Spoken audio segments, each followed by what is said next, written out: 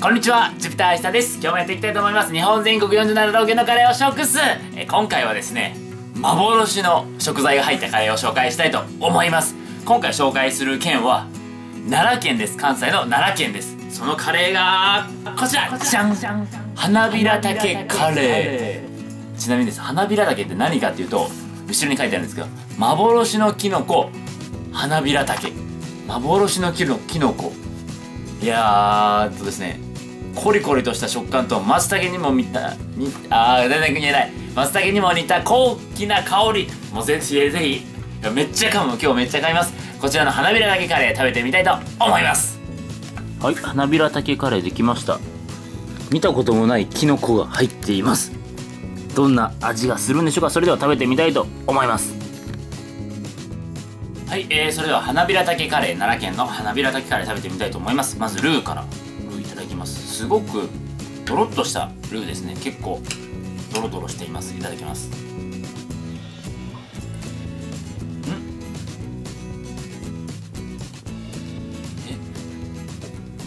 想像してたルーと全然違います。なんだこれ。すごくすごくちょっともう一口いただきます。なんだろう。あー説明できない。まあちょっと一旦一旦花びら竹食べていいです。花びら竹を食べてみたいと思います。でかい。なんだこれ。これ。見えますかねこれ。花びら竹。こんなでかいです。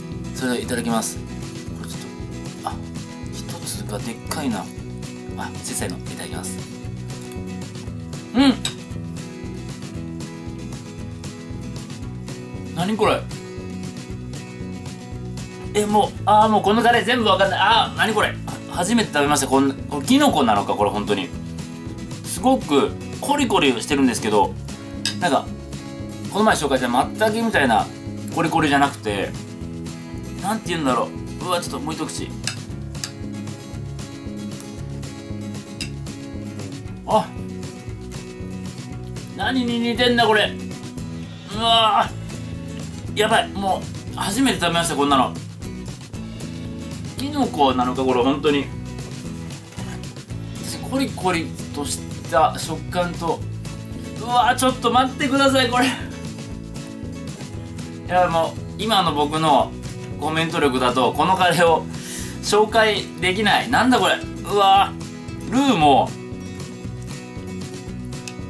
なんだろう。コクがあまりないというか。んだなんて言えばいいんだろう。泣けてきた。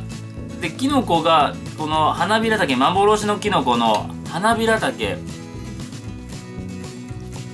あーなんか食べたことあるんだけど。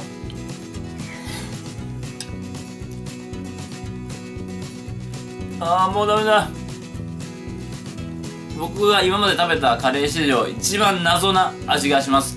ルーもな謎な味というかんだなんて言えばいいんだろう。とにかくこのカレー僕は今までいっぱいカレー食べてきましたけど初めての味そして食感あとこのルーのドロドロ感全てが謎というかちょっと説明ができません。ごめんなさい。